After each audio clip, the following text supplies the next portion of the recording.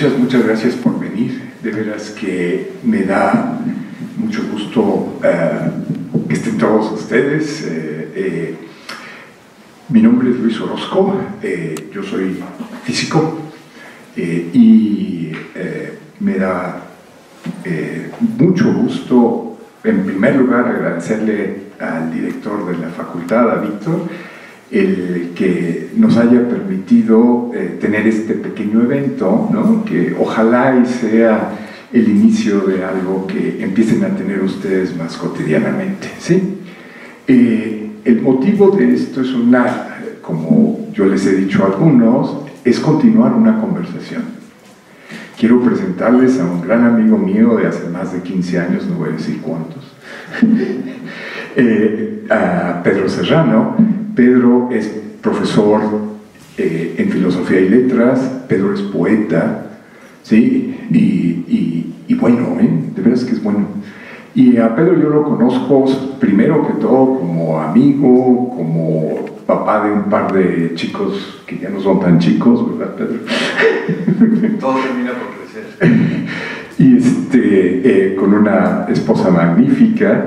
y eh, a lo largo de los años hemos tenido muchas, muchas conversaciones y en un momento dado, hace ya un par de años o antes de la pandemia, dijimos, oye, pues estaría bien hacerlo en público, ¿no? Como que, este, que escuchen lo que un físico puede platicar y cómo podemos converger y diverger en tantas otras cosas, ¿no? Eh, a mí me toca, yo soy físico, soy de Guadalajara, eh, hice mi doctorado en la... De, eh, eh, mi licenciatura es en ingeniería, en ingeniería mecánico-eléctrica en Guadalajara y después hice mi doctorado en física en la Universidad de Texas. Este, Pedro, y yo soy profesor emérito de la Universidad de Maryland, en las afueras de la capital de Estados Unidos me he dedicado a la física experimental, eh, pero en realidad a mí lo que me gusta es la física, ¿no? es esa maravillosa capacidad de predecir, ¿no? eso es tras lo que yo voy.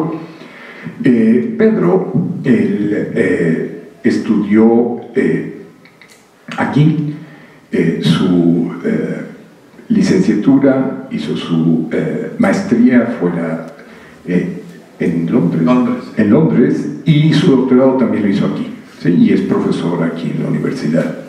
Y Pedro, de veras, de veras, es eh, eh, un gran poeta, pero también es eh, la otra cosa que Pedro tiene, que se me hace bien interesante y hemos platicado mucho de ello, es él es traductor.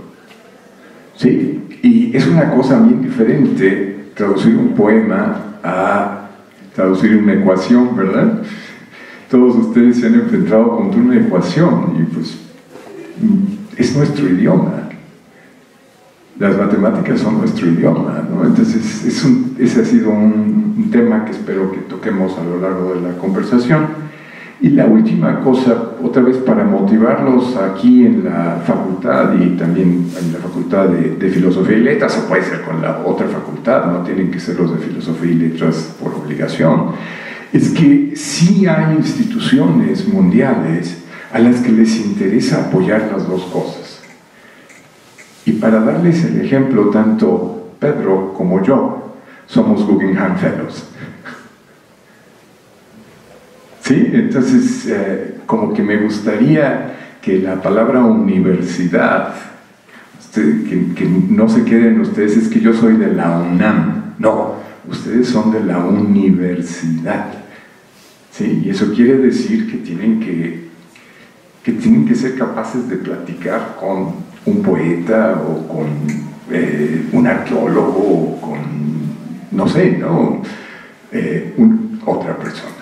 Entonces, eh, la, como se pueden dar cuenta, la presentación no es una cosa muy este, formal, pero ya, y los, ya, ya, ya terminaron las presentaciones, y lo que me gustaría invitarlos, realmente invitarlos, es si alguien tiene una pregunta, una opinión, díganla. No, no sé, ayer funcionó muy bien, veo cuando menos una de las personas que estuvieron ayer y este, en el público y, funcionó muy bien, ¿no? O sea, sí se vale preguntar, ¿no?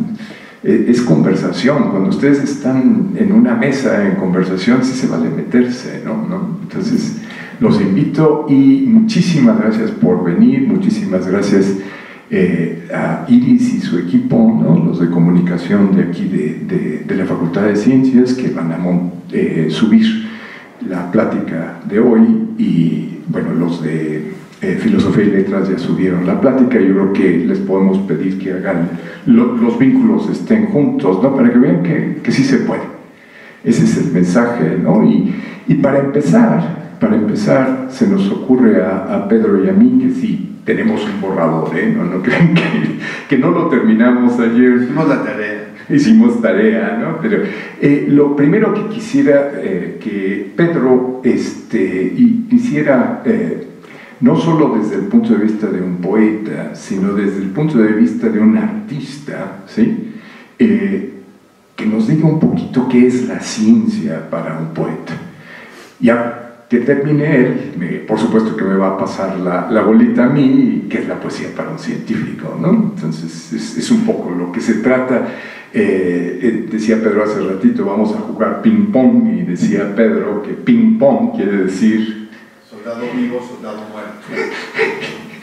Entonces a ver quién, al final, a quién le cortamos la cabeza, ¿no? Ya decidí yo que tú, Pedro. Bueno, es como, eh, muchas gracias por estar aquí, gracias Luis, es un gusto este encuentro, a mí me, me gustan las conversaciones, las conversaciones, ¿sí se oye bien?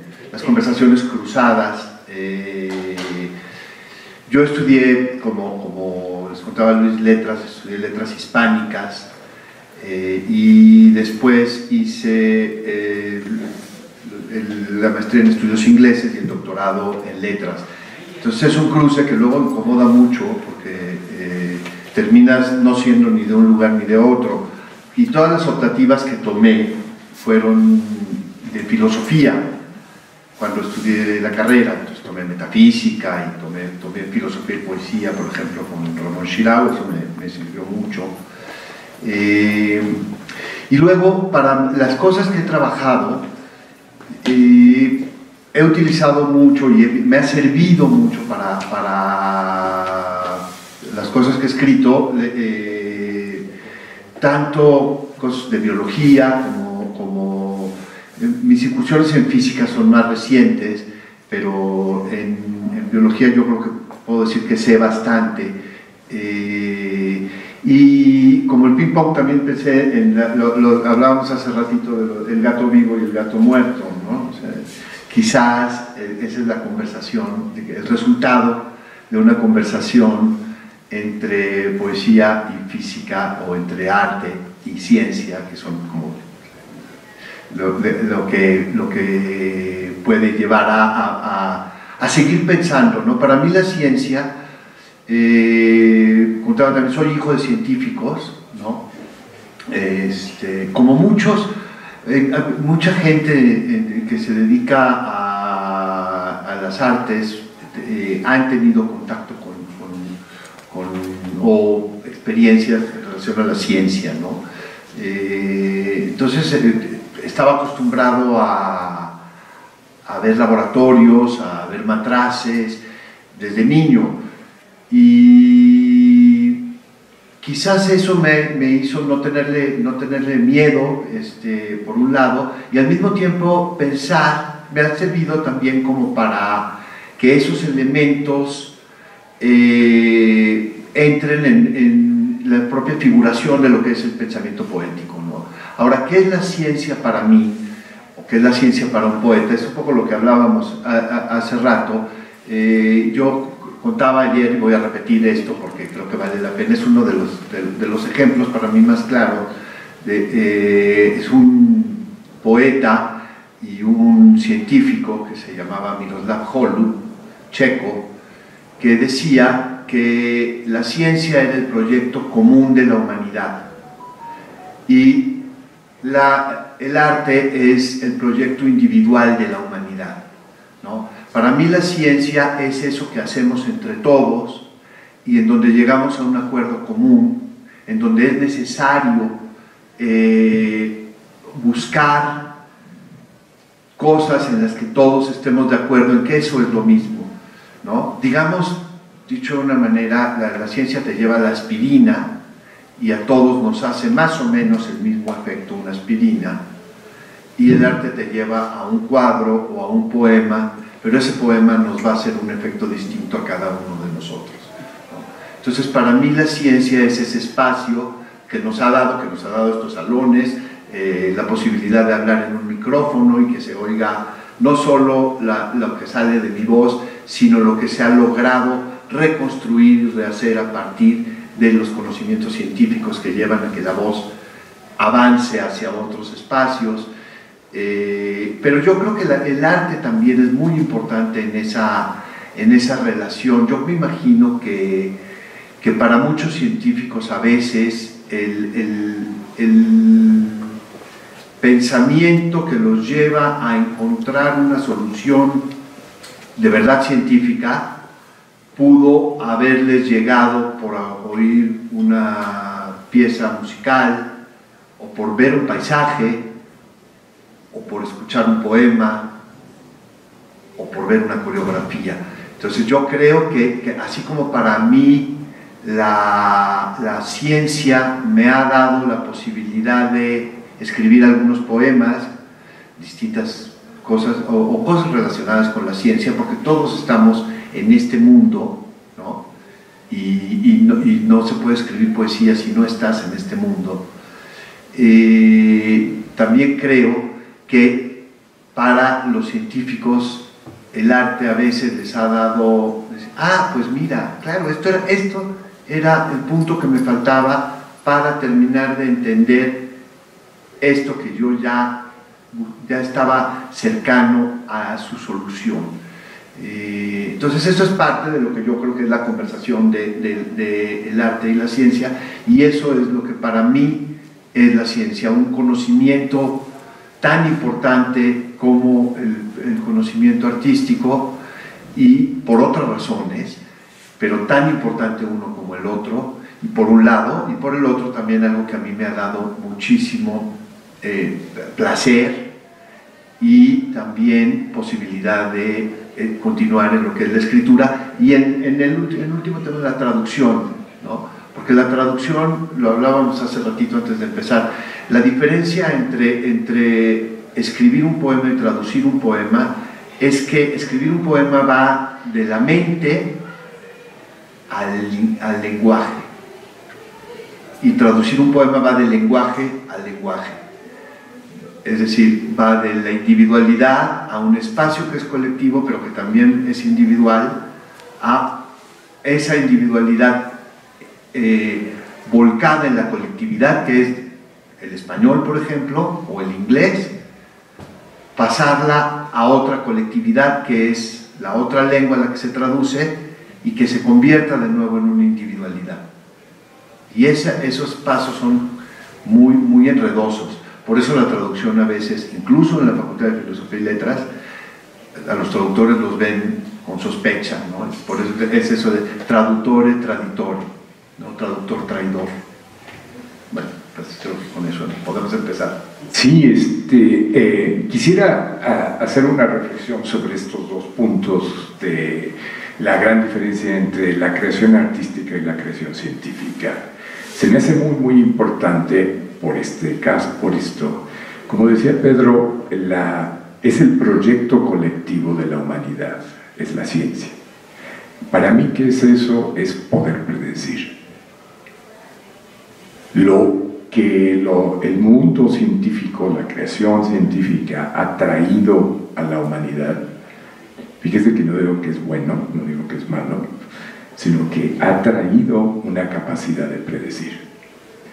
Y la capacidad de predicción de las ciencias, ¿sí? Varía.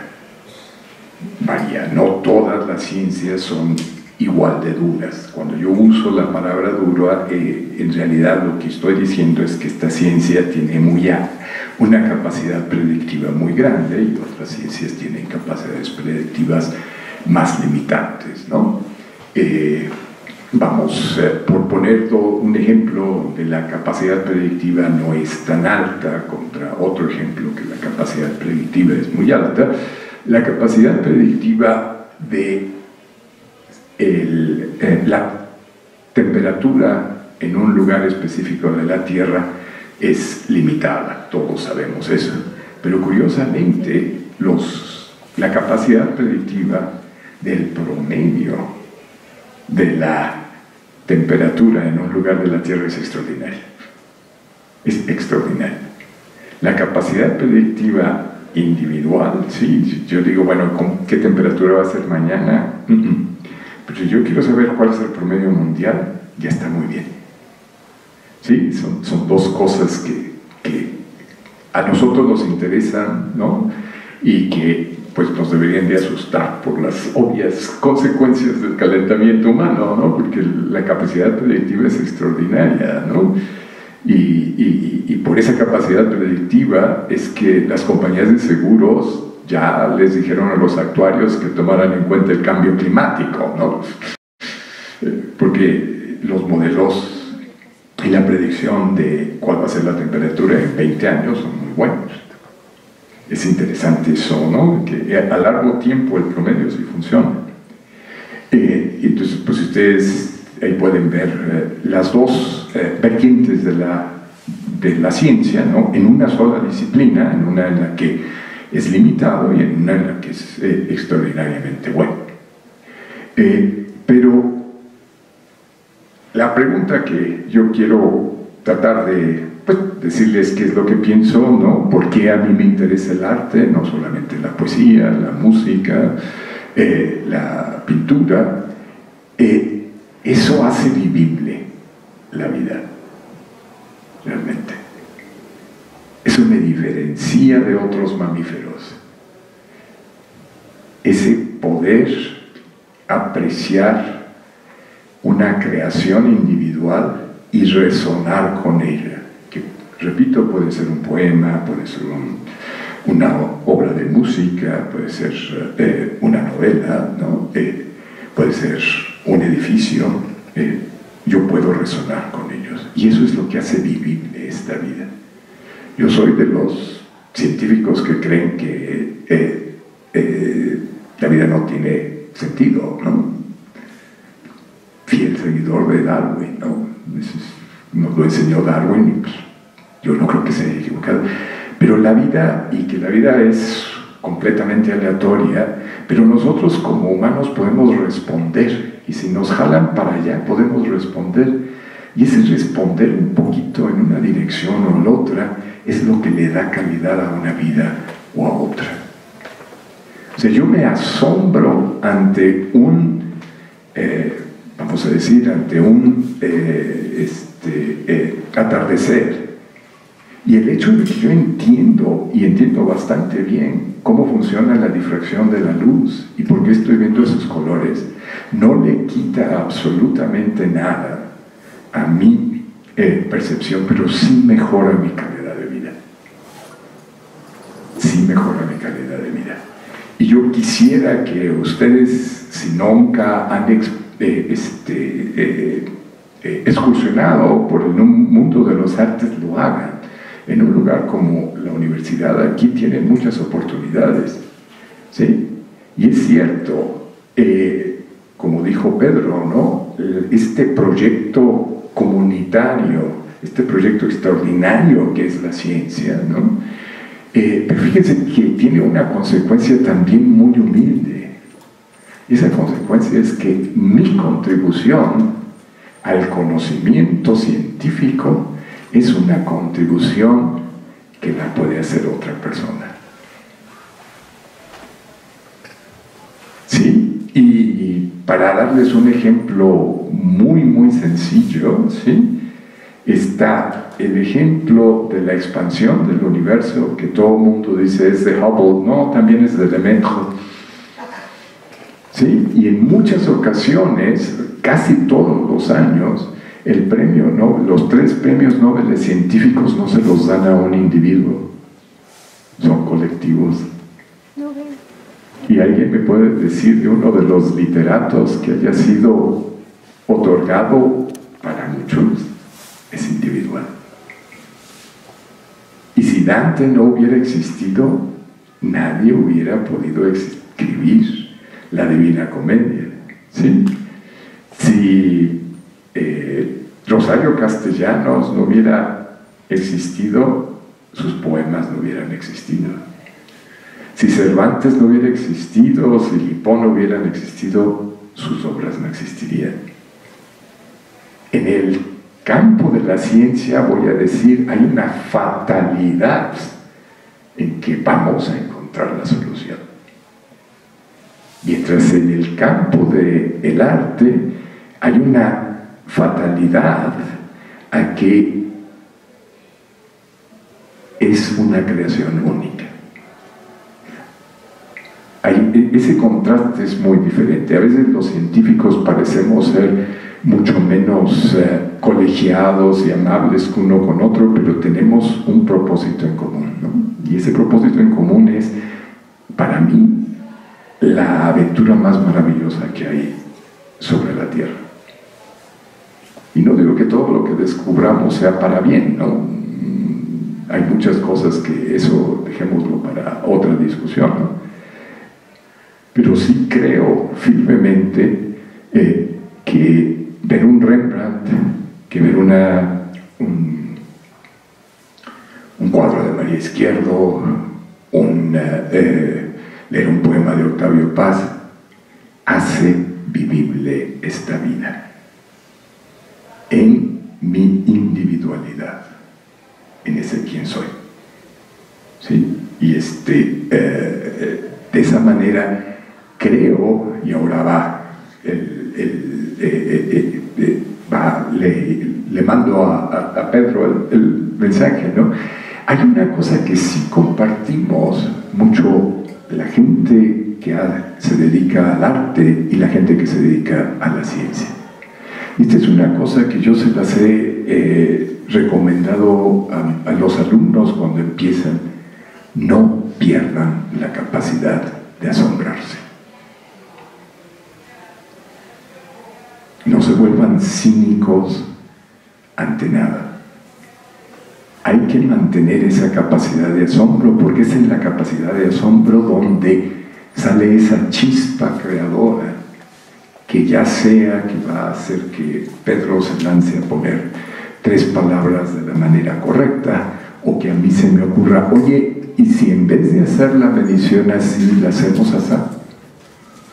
O a una persona que sea un físico teórico, como Carlos allá atrás, puede decir, oye, ¿y si en vez de hacer esto así, lo trato de resolver de esta manera? Pero es esa capacidad de asombro. Y fíjense que esa capacidad de asombro es una cosa que es fácil perder. Y es una cosa que yo como maestro he tratado de siempre, siempre, siempre eh, motivar en mis alumnos. Que no se les pierda. Ustedes son estudiantes de ciencias porque son capaces de asombrarse, no porque son capaces de resolver un problema. Eso es hacer tarea. Hacer ciencia es esa chispa que puede ser ayudada por un poema, puede ser ayudada por una pieza de rock. Pero sobre todo tiene que ser producto del asombro. Y ahora le paso a... Bueno, me gusta mucho lo que dijiste Luis, porque eh, sí, yo también creo que no hay posibilidad de hacer nada sin el asombro, ¿no? Si eh, no se puede escribir un poema sin que uno no esté atento a todo lo que está pasando, ¿sí? Y es, es como, a eso es lo, que se le, se le, llama inspiración, no es que llega de, de los cielos, es que es la capacidad para, para que poder estar con todos los cinco sentidos abiertos, sinestesia, capaz de lograr poner en contacto cosas que aparentemente no están en contacto, ¿sí? o que no estaban en contacto. Entonces eso es lo que logra un poema.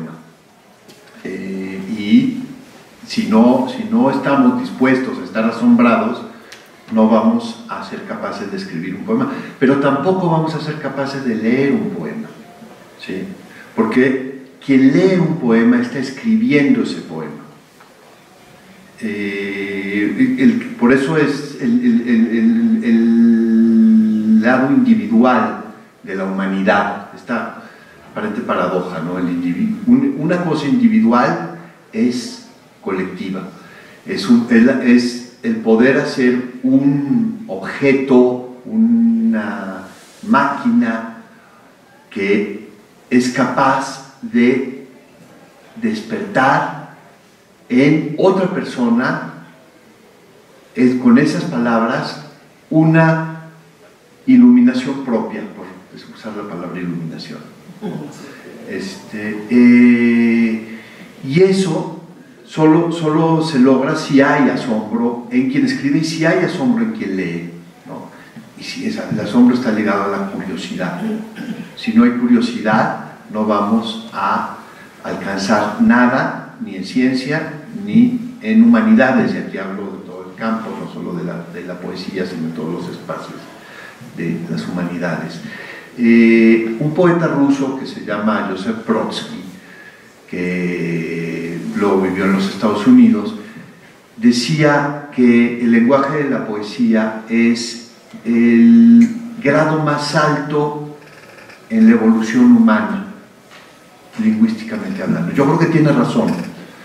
Las matemáticas es otro grado altísimo de la evolución humana, pero no es lingüística.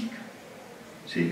Por eso se habla de ciencias duras, porque hay que encontrar la manera de traer algo que sucede en un espacio que no es lingüístico y acarreamos eh, del, lenguaje común. Yo pensaba hace poco, una cosa, es un paréntesis chiquito, que eh, los términos de física son aparentemente mucho más accesibles que los términos de biología, por ejemplo. Los términos de biología son absolutamente abstrusos, ¿no? Este, eh, son maravillosos también, y son porque la, la, búsqueda de exactitud de la biología es distinta que la búsqueda de exactitud de las matemáticas o la física, ¿no? Entonces, y, pero lo que, regreso a lo de, ya termino el paréntesis, regreso a Brodsky, a lo que quiere decir con eso. Eh, el poema logra algo en nuestras neuronas, en nuestro movimiento neuronal, que lo, cambian, lo desacomoda. No es que nosotros leamos un poema y, entonces entendamos el poema. Lo que hace alguien que escribe un poema es acomodar las palabras, desacomodar el lenguaje en el cual estamos acostumbrados a pensar y ponerlo de tal modo en un desequilibrio temblante que hace que quien lo lea parezca, sienta, crea que está entendiendo lo que dice el poema. Lo que en realidad está pasando es que el poema se está, está reconfigurando sus circuitos neuronales para poner en contacto con cosas que antes no estaban en contacto. Por ejemplo, uno de los grandes poetas mexicanos, que es José Borostiza, y le recomiendo muchísimo Muerte sin fin, que es, un poema, es uno de los grandes poemas en español del siglo XX, pero tiene unos versos, muy, puedo decir dos versos chiquitos de él, que eh, dice, eh, ¿quién me presta una naranja para mi consolación? Una naranja redonda en forma de corazón. Y lo leemos y decimos, claro, y si lo pensamos, decimos, pero las naranjas, digo, los corazones no son redondos. ¿no? Eso es la capacidad mágica del lenguaje poético y eso es a lo que Brodsky llama la, el alto grado de, el más alto grado de la evolución humana del de, eh, lenguaje. Ahora, otra paradoja de eso. Ese alto grado más alto del lenguaje no se alcanzó, no tiene lo que pasa en ciencia en donde hay un progreso, es decir, la ciencia del siglo XVIII descubre una serie de cosas, la del XIX otras, la del XX otras y la del XXI otras, y va avanzando.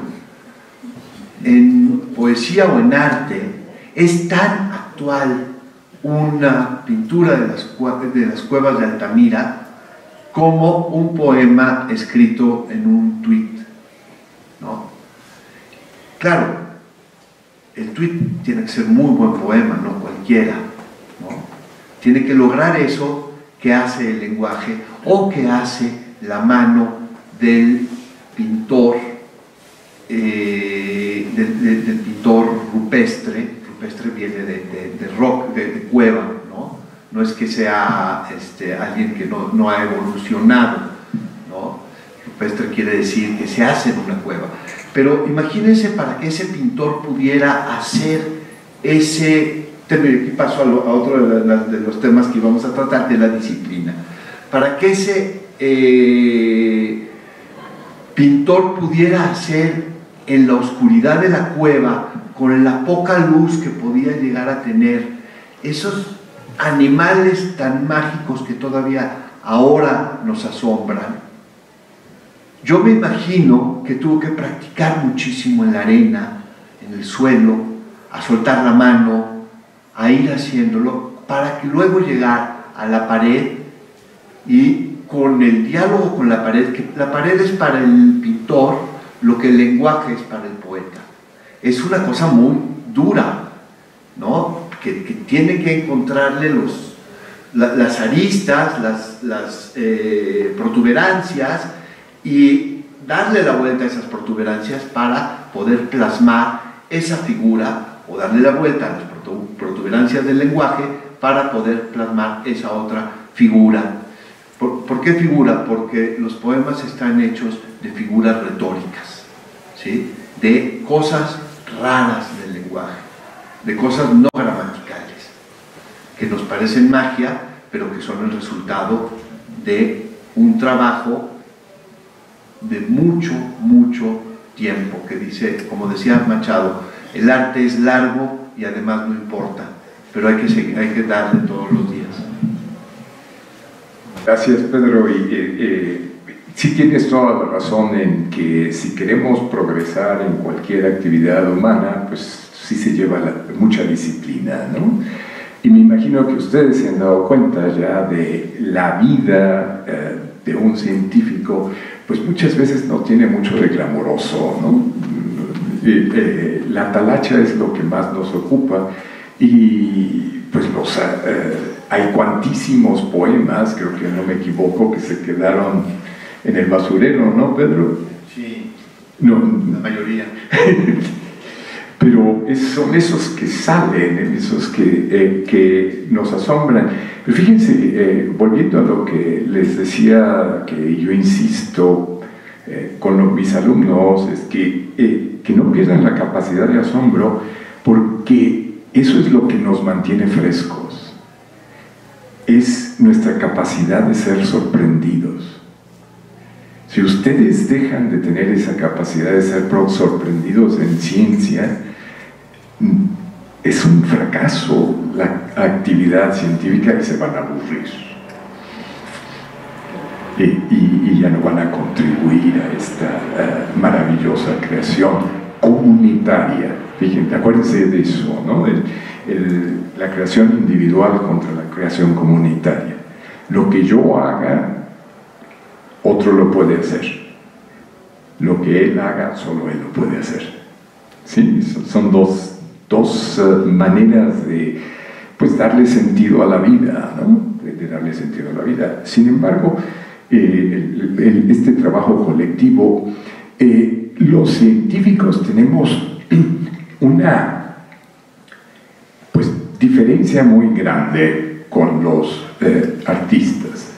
Y esta es que para nosotros sí existe la capacidad de ver si nuestras predicciones teóricas, lo que dice nuestra ciencia, sucede en la naturaleza. El ejemplo más eh, claro que se me ocurre es que eh, ustedes pueden haber elaborado una teoría de la gravitación hermosísima, ¿no? con las más hermosas figuras este, matemáticas, con teoría de los grupos más hermosos y todo lo demás.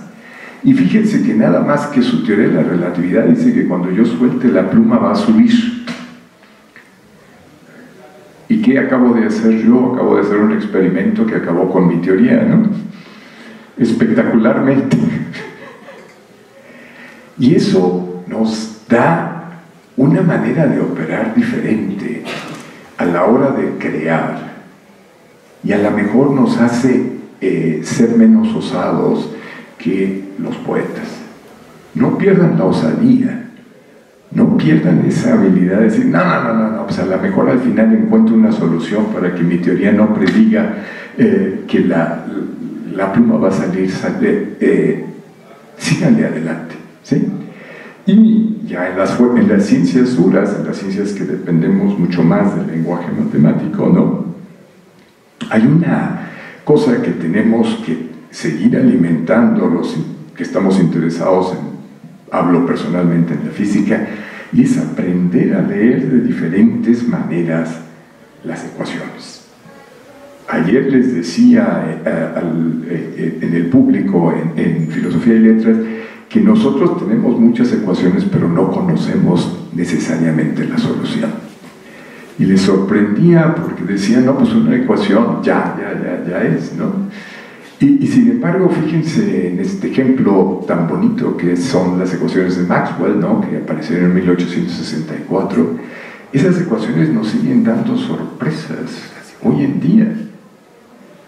Eh, y, este, y sorpresas que nos hacen, acuérdense que la actividad científica es la actividad de toda la comunidad, ¿sí? Eh, la actividad de toda la comunidad que tiene una incidencia muy fuerte en nuestra calidad de vida. O sea, si, las ecuaciones de Maxwell no tendríamos eh, celulares para andar enviando mensajes de un lado a otro con ondas electromagnéticas, ¿verdad? No tendríamos antenas, no tendríamos una cantidad de cosas, ¿no? Pero a mí me sorprende que todavía hace 10 años se seguían encontrando, eh, me imagino que a los que son físicos entre ustedes, a los que son químicos, pero tómale otro límite, resuelve en otra circunstancia, es la misma ecuación, pero llévala al límite. Yo creo que a ninguno de ustedes le gusta jugar deportes aburridos, a todos nos gustan los deportes extremos. Lo mismo pasa en ciencia. Jala la, la ecuación hasta que casi truene y a ver qué pasa. Esa fascinación que tenemos los científicos por los hoyos negros es precisamente por eso, porque es jalaste al extremo, es encontrar qué es lo que pasa en ese lugar y de ahí aprendemos un montón de cosas esa, eh, de esa manera. ¿sí? Y nuestra disciplina de trabajo, yo estoy seguro de que una gran cantidad de la actividad de Pedro también es jalar ese lenguaje hasta extremos antes de que se quiebre. ¿sí? Eh, y es curioso porque hay ocasiones en que un poema se escribe y no resuena y conforme pasa el tiempo llega a resonar y se vuelve, no, necesariamente eh, la respuesta de otros individuos es inmediata, sino que eh, hay experiencias que después de esas experiencias es, eh, la gente responde y dice, oye, está impresionante, ¿no? Para nuestra, para nosotros, sí, la toda la literatura que tiene que ver con plagas, pues era una cosa hasta 1919, pues el 2019 era una cosa que, ay, sí, el de Camerón, no, pues se la pasaron desde bien, ¿no? este, eh, Camus y, demás. Y ahora, a todos, es muy difícil olvidarse de esos tres años que pusimos en paréntesis, ¿no? Y uno agarra el de Camerón, uno agarra la peste de Camus, y uno agarra, pues Pedro sabrá muchos más poemas que tienen que ver con eso, y se vuelve eh, bien, bien, bien importante, ¿no? Y es una cosa también que pasa en, eh, en, la ciencia, ¿no? Einstein escribió sus ecuaciones de la relatividad general, pues entre el 16 y 17, ¿no? Y desde ese entonces hasta hoy en día van apareciendo las soluciones poco a poco y cada vez nos maravillan más lo que dicen esas soluciones, ¿no? Nos maravillan más, cuando menos a mí, ¿no? Este, ¿y, ¿Y por qué aparecen? Pues porque tenemos nuevos desarrollos matemáticos, tenemos nuevos desarrollos físicos que nos permiten ir iluminando eso. Pero no se les olvide que la vida de un científica es sobre todo disciplina. A uno, eh, yo estoy convencido de que uno tiene dos ocasiones para tener una idea brillante en su vida. Y yo estoy seguro que la primera que a mí me pasó fue cuando tenía dos años y logré regresar a mi casa. Eso es estupendo, ¿no? Yo regresé a mi casa. Pero así es de que me quedó una, ¿no? Pero uno puede hacer talacha, no les dé pena hacer talacha, pero no pierda una vez más esa capacidad de asombro. ¿Sí? Y, este, eh, y, eh, y convénzanse de que estamos, el trabajo científico es colectivo y es, lo más maravilloso que tenemos los humanos como actividad colectiva. Es lo más, más, más maravilloso. No, yo le voy más a la ciencia que a un equipo de fútbol, ¿no? Entonces, que también es una actividad colectiva, pero véanlo, ¿no? Este, eh, eh, estamos construyendo, no necesitamos destruir lo anterior, lo que tenemos que hacer, y la frontera está muy cerca. La frontera científica siempre está cerca, porque el crecimiento del conocimiento científico es un conocimiento para que lleguen ustedes a la frontera, no crean que pasan, no, pues se me va a ocurrir dentro de 800 años, no, no, no, no, está cerquita. Porque es tan vasta la frontera, ¿no? Y de esa manera, pues el poeta también, ¿no? El, poeta, su creación individual está en la frontera, ¿no? Está pasando en este momento, ¿no? Eh, eh, es, es eh, y volviendo pues a esta uh, este inicio que yo les decía de que para mí la, eh, el arte, la poesía, vuelve mucho más vivible la, la vida, porque aquí nos tocó vivir, ¿no? Hay que ser fatalistas, ¿no? Aquí nos tocó vivir, ni modo. Y en ese aquí nos tocó vivir, ¿sí? quisiera evocar de nuevo, y esto lo hice hace unos cuatro años o cinco años, no sé si se acuerdan, en, el Instituto de Física, cuando estaba hablando de, del Francio, les dije que para mí había sido, pues realmente es inspirado, eh, o, yo resueno muchísimo con un poema de Constantino Cavafis, ¿no?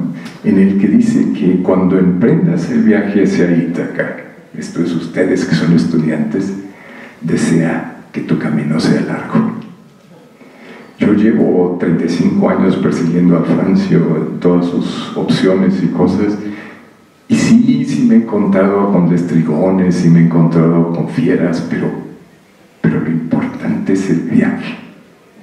Lo importante es el viaje. Y esto es una reflexión muy interesante que tanto se da en la actividad individual como en la actividad científica, de que yo estoy eh, Cavafis está respondiendo a la Odisea de Homero, ¿sí? en donde Odiseo pues se toma 10 años en regresar a Ítaca, pero le va bien, ¿no? Le va, le bien. Y en, esa, en ese regreso, pues tiene muchas aventuras Y de eso se trata también eh, el trabajo científico. Yo no sabía que me iba a dedicar a eso al principio. Y conforme fueron, me fue encontrando monstruos, me fue encontrando destrigones, las cosas se fueron haciendo y ahí van, y, a la gente le gusta, y, mis alumnos se gradúan y consiguen trabajo, y yo sigo asombrándome de lo que está sucediendo. Y esa respuesta a otros poemas, esa respuesta ¿sí? de un poema a otro poema, pues es lo que pasa también en física, ¿no? ustedes ven las ecuaciones de Maxwell ¿sí? y responden a esas ecuaciones. Responden esas ecuaciones con nuevos avances. Bueno, todo lo que estás diciendo me, estaba dándole vueltas a, eh, y por eso estaba con, con, esto, estaba haciendo uso de la ciencia, no me estaba distrayendo, sino lo que mi memoria no alcanza, la ciencia me ayuda a llegar. Eh, y es, pensaba en, un, en, en, esto de, de, los avances y la, y, y la, continuidad. Hay un libro que no se los digo por si alguien está interesado, pero es un libro para especialistas en literatura de un profesor de Maryland, creo que también de ahí, que se llama, un, un español que se llama Sánchez de Pinillos, que se llama Quevedo en el origen y el fin de la modernidad. ¿no? Es decir, un Quevedo que está escribiendo hace cinco siglos y que dice cosas que son de hace cinco siglos y de este momento. Esa es la modernidad en arte. La modernidad en arte son las cuevas de Altamira, es Quevedo y es la manera de leerlo ahora. Eh, ese libro se dedica, dedica 40 páginas a analizar un solo poema qué es lo que de, otra manera hacen ustedes en el campo que trabajan. Y eso hacemos nosotros que nos dedicamos ociosamente a, este, a la literatura. pero pensaba en Quevedo y pensaba en un poema que, eh, muy, uno de los poemas más famosos de él, que dice, retirado en la paz de estos desiertos, con pocos pero doctos libros juntos, vivo en conversación con los difuntos y escucho con mis ojos a los muertos. ¿Sí? Pero eso te dice, te dice todo de lo que pasa en el espacio del poema. No se puede escribir poesía si no estás en conversación con esos difuntos que están vivos en el momento en el que con tus ojos los estás leyendo y en donde sucede todo al mismo tiempo.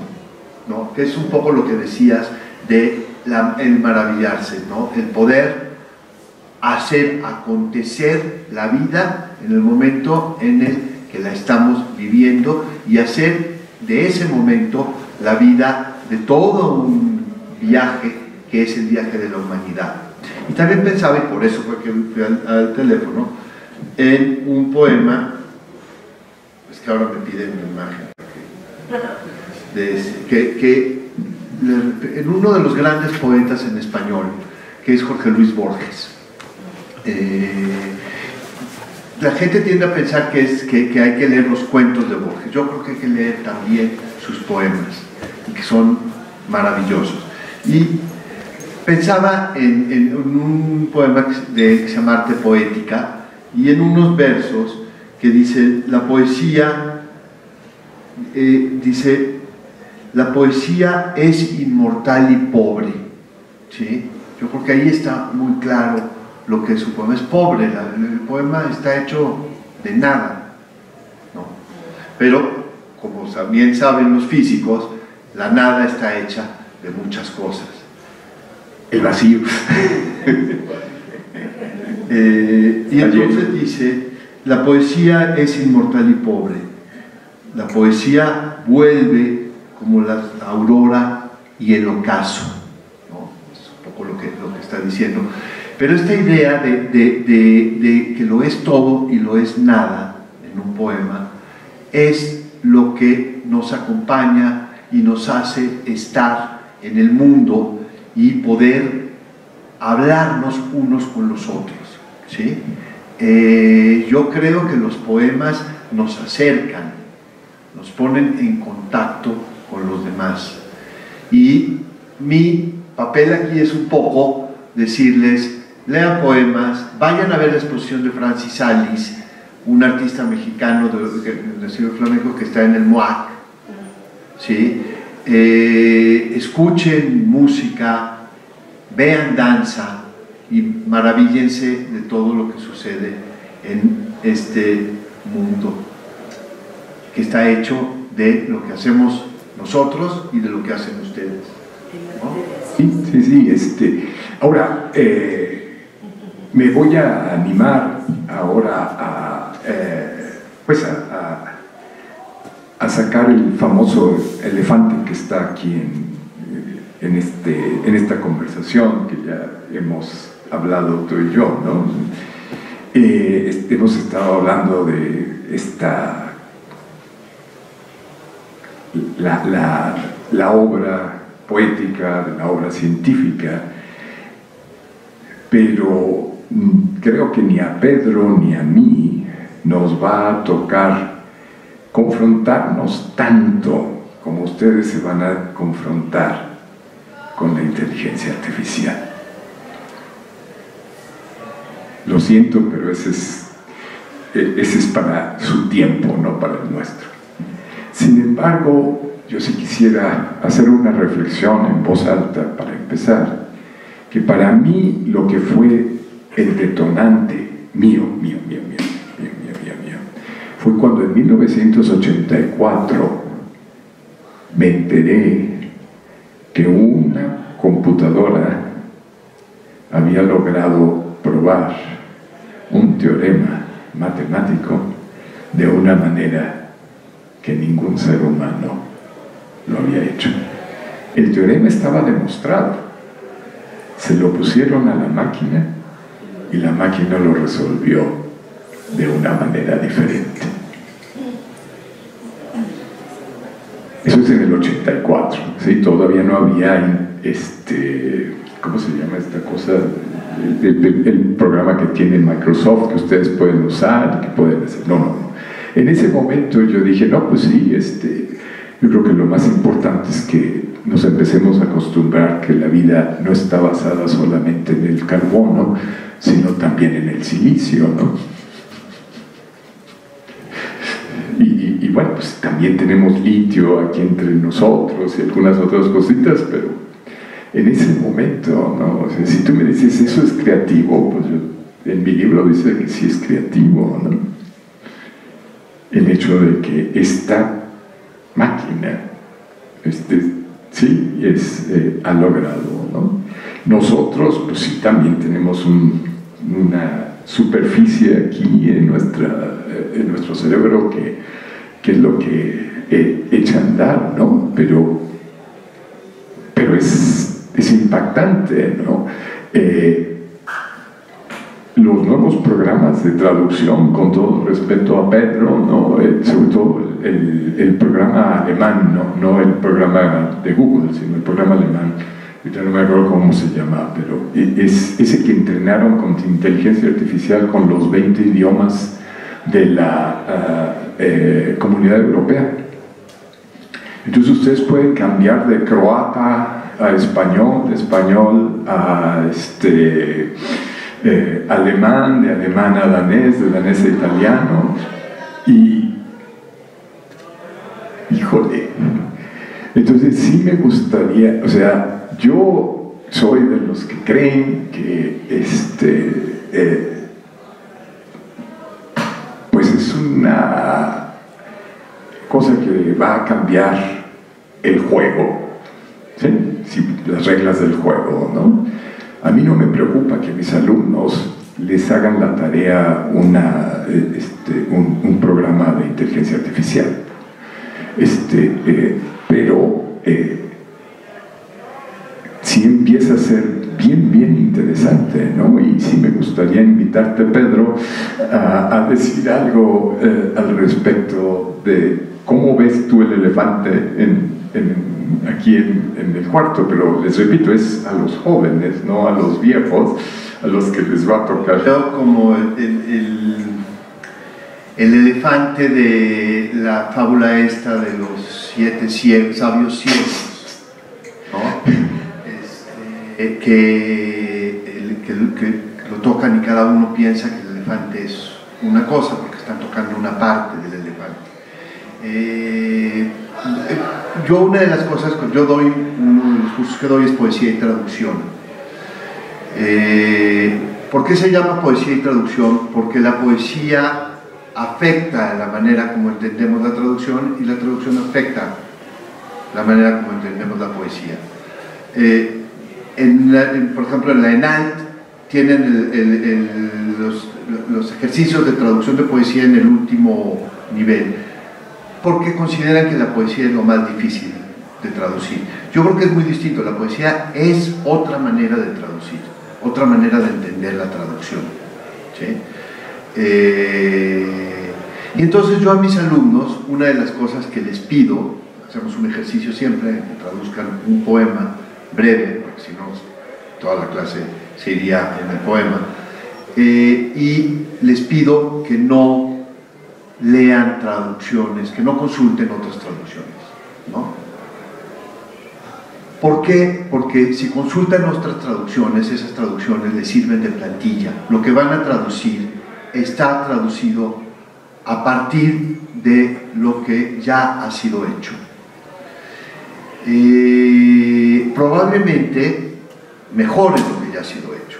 Eso es muy claro cómo las traducciones mejoran con el tiempo. Uno de los grandes poemas del siglo XX es un poema que se llama Todes Fuge, de un poeta que se llama Paul Celan, eh, rumano, que escribía en alemán judío rumano, los padres murieron eh,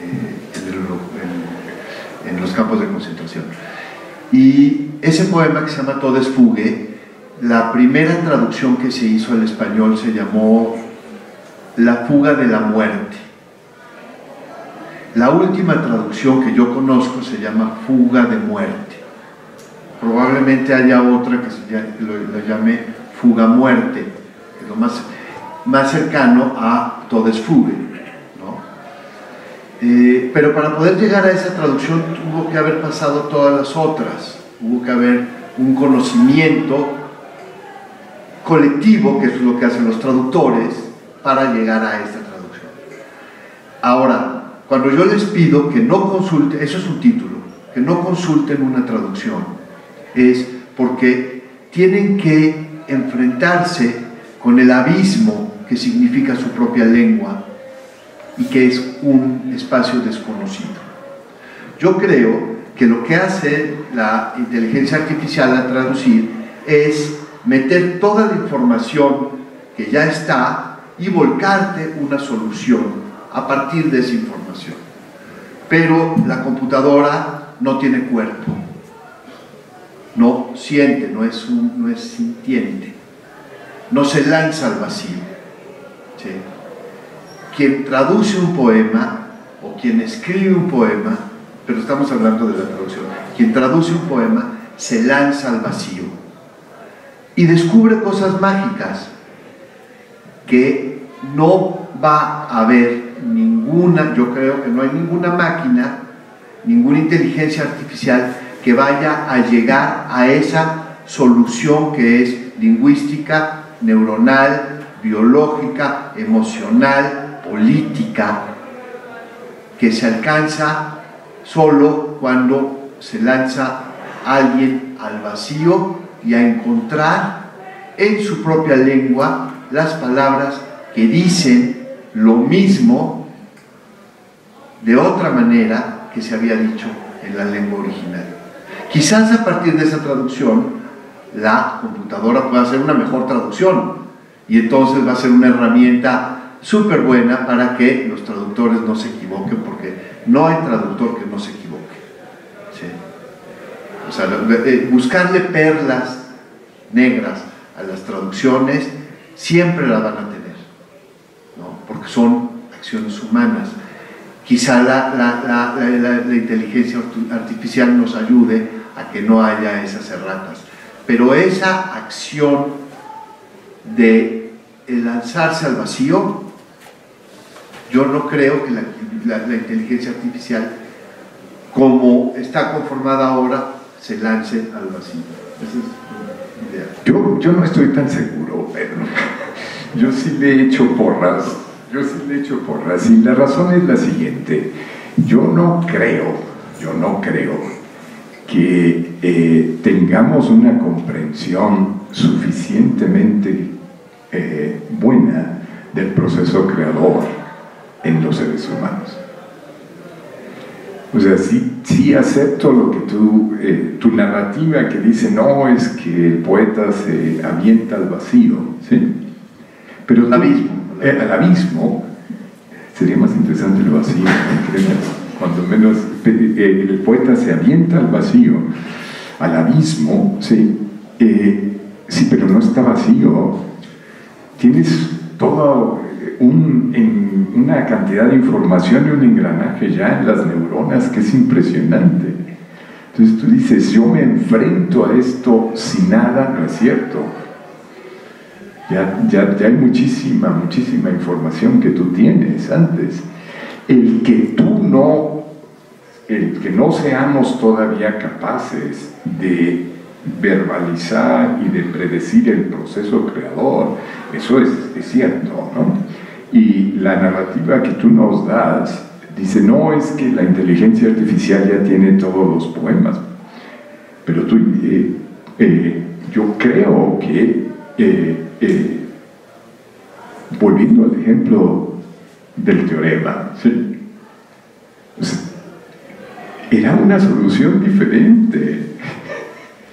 No era una solución que, ay, sí, le cambió el último paso. No, no. El, planteamiento es completamente diferente y el resultado es correcto. No podríamos de- decir, cuando digo abismo, no estoy hablando solo del abismo de la nada, sino eh, el abismo que hay en las cajas chinas. Una dentro y una dentro y una dentro y una dentro, que por supuesto no termina de ser vacío. Pero quizás, eh, te pregunto, las soluciones que la mente hace a la hora de traducir O de crear un de poema. crear un poema.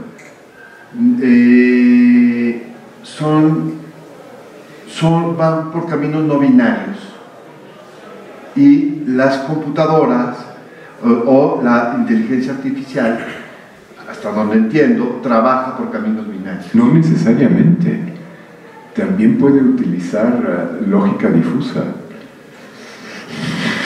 Lo siento, pero también la puedo utilizar. El que no todo sea ni bien ni mal, no. También sabemos. eh, pero pero eh, yo, yo creo que va a dar mucho más que hablar, ¿sí? En, en- su generación, no en la de nosotros, afortunadamente. Hay cosas que me da mucho gusto. Fíjense qué, qué buenos somos los viejos, les dejamos problemas a resolver. Eh, de, de esto, porque es, no solo afecta, volviendo a la discusión que estamos teniendo ahorita Pedro y yo, no solo afecta a la creación artística, les digo, sí afecta nuestros, nuestra creación científica. O sea, si la, la máquina puede podía en el 84 resolver teoremas pues con más con más este eh, eh, más posibilidades habrá eh, de hacer otras cosas. Sí, lo que, quizá lo que quiero decir es que eh, la solución de, en traducción, ¿no? de lo que estábamos hablando, y quizá eso de ahí se puede regresar a la creación. La solución a- en traducción de, de- de lo que está pasando en un poema posiblemente suceda en algo totalmente ajeno a lo que estaba pasando en el poema original. ¿Sí? Es decir, por ejemplo, lo voy a decir en términos muy básicos, un poema puede decir amarillo en español y en japonés, para que el poema caiga en donde tiene que caer como poema en japonés, tenga que decir rojo, ¿no? Y el paso del amarillo al rojo, ese es el que yo llamo abismal, ¿sí? Y, y no es, porque no es lo mismo, por ejemplo, traducir mesa por table que traducir mesa por zapato. Y quizá en el poema, al traducir de lo que hay que hablar, el poema original habla de la mesa, de lo que hay que hablar es el zapato. Eh, y yo creo que eh, la inteligencia artificial te va a traducir mesa por muchas variantes de mesa, pero no va a llegar al zapato. O dicho de otra manera, lo voy a decir, uno de los grandes, de los textos más importantes sobre traducción es uno que se llama La tarea del traductor, de Walter Benjamin. Y tarea en alemán quiere decir tarea y quiere decir debilidad, fracaso. Entonces, el, ensayo se llama La tarea del traductor, el fracaso del traductor. ¿sí? Eh, ya ahí está la, ambigüedad del sentido en, de lo que está intencionándose en, una escritura. Pero luego eh, Benjamin habla de que no es lo mismo la palabra pan en español que la palabra brot en alemán. Aunque el pan y el brot estén hechos de trigo.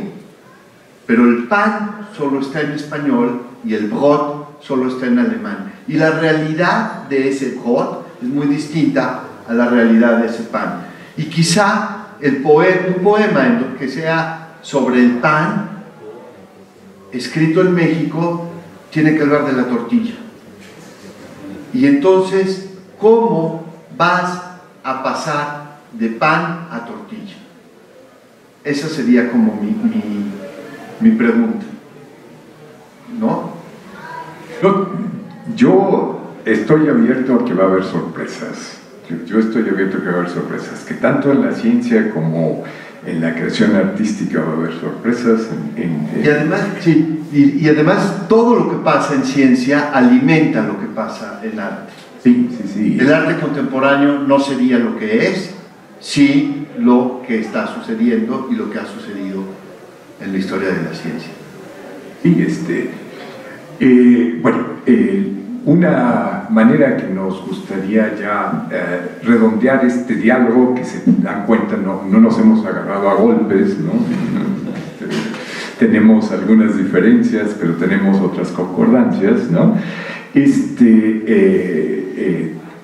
quedamos Pedro y yo, a la hora que estamos preparando esto, que él va a leerles un poema y yo tengo la misión de darles una breve historia de mi trabajo científico sin usar pizarrón y sin usar nada. A ver, eh, creo que Pedro va a tener mucho más éxito y por supuesto queremos que se abra la discusión ¿no? al final.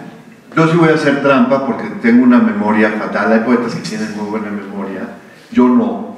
Entonces, este, voy a leer un poema, pero tengo que buscar. Eh, ay, ¿dónde está esto?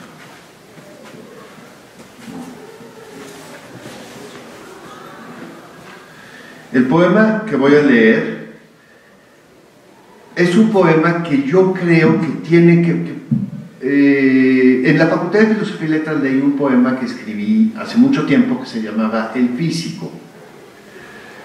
El poema que voy a leer ahora es un poema que se llama Elípticas y en el cual es lo que estoy contando es un encuentro con mi padre que los dos estudiamos en Londres en momentos distintos. Él era bioquímico y yo estaba haciendo cosas de poesía. Este, y hicimos un paseo en donde yo lo acompañé al laboratorio de un amigo suyo que quedaba en el otro lado de la ciudad. Y él me acompañó de regreso a los rumbos por los que yo vivía y nos cruzamos a la mitad en un punto en el cual había un pop al que yo iba, arriba del cual me dijo él, yo vivía aquí, antes de que yo le dijera que iba a ese pop, me dijo, yo vivía aquí arriba, ¿no?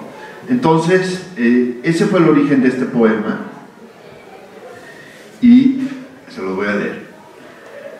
Elípticas. En un periplo doble, pupilas, ah, y otra cosa, por alguna razón aparecieron en el poema unas canicas que caen y ruedan. Y las canicas son muy importantes en física, según tengo entendido. Simplemente Galileo las usaba, ¿no? O la idea de la canica. En un periplo doble, pupilas oteando barrios, pupilas mi padre y yo, cada uno en su tiempo y a su modo, acompañándonos mutuamente en hemisférico y helicoidal recorrido de órbitas coincidentes, esa tarde y aquí. Cruzamos sin novedad Shepherd's Bush hacia el laboratorio de un colega suyo, yo que sé de testigo de sí mismo en su busca, doblando embudos, técnicas, buriles, tácitos vasos de precipitado, matraces, matracas en aras de ambos rumbos, hospitales y no posibles suyos. De ahí y a pie juntilla regresamos de mi infancia al momento justo, como siluetas en juego. ¿Qué recorríamos? Requeríamos simplicidad, capacidad pulmonar, zancos, zancudos.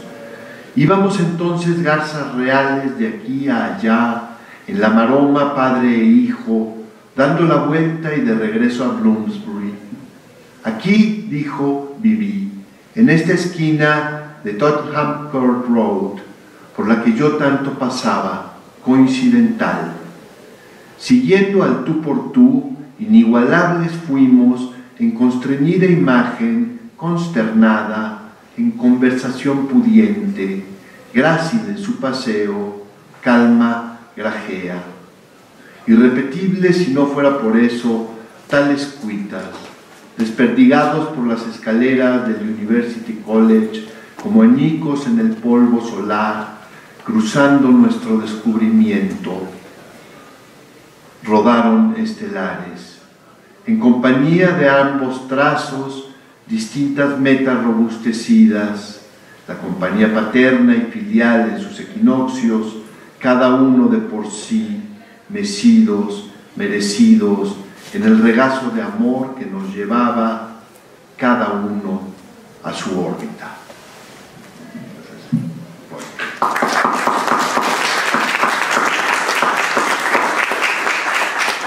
Entonces, para terminar, en eh, unos 5 o 10 minutos les eh, voy a contar yo eh, de una inquietud que eh, tenía desde hacía muchos años y que me imagino que un buen número de los físicos que están aquí también la han tenido. ¿sí?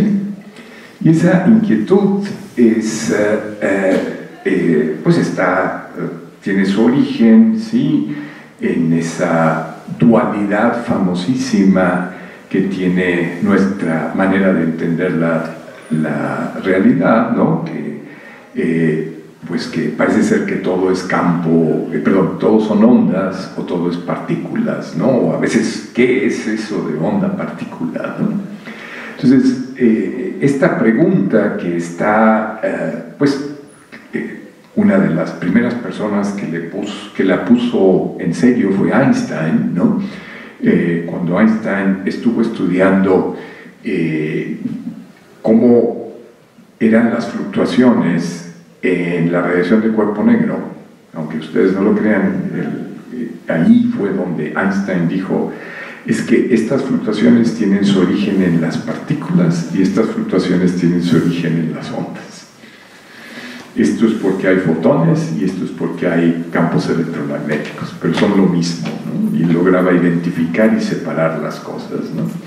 A mí en lo personal eso eh, eh, me llamaba mucho la atención y yo soy de las personas que creen que lo más importante es el campo. Hoy en día nosotros no hablamos de ondas, no hablamos de partículas, sino hablamos de campos. Y en términos ya más formales, esta idea del campo, una propiedad que se define en el espacio y en el tiempo, ¿sí? tiene otras propiedades, ¿no? pero Es el campo, el campo existe, ¿no? Y eso es, para ser más técnico, lo que cuantizamos. Cuando uno dice, voy a cuantizar esto, lo que uno está diciendo es que, mira, la mejor descripción que tenemos de la naturaleza es que las cosas satisfagan la mecánica cuántica. Y esas son unas reglas matemáticas muy rígidas. Esas son una serie de reglas matemáticas muy rígidas. Y la naturaleza hasta ahorita la sigue.